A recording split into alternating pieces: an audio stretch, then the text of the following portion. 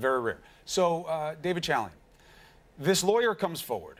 Uh, irony of ironies, you know, with the president saying all of these things that aren't true about the privilege, uh, attorney-client privilege. One of his own attorneys uh, gets called by the president reportedly for advice and then decides to talk to the media about it. Um, and this guy, Jay Goldberg, says, I think Michael Cohen is going to flip on the president because anybody facing 30 years uh, doesn't stand up. Now, first of all, we have no way to even believe that Michael Cohen could be facing any jail time, let alone 30 years. But what do you make of this? That this lawyer, confidant of the president, who handled his two divorces, so I don't know why the president was calling him if he's a divorce attorney, but whatever. Um, and he says this kind of thing about Michael Cohen, who matters so much to the president. Your take?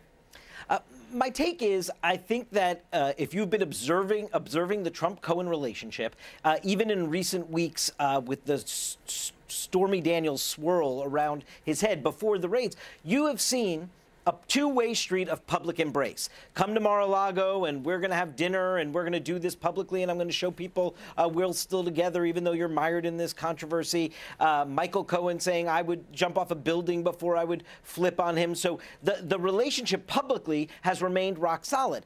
And now, of course, uh, there is real concern inside the White House about what uh, the federal investigators are going to be able to find and learn.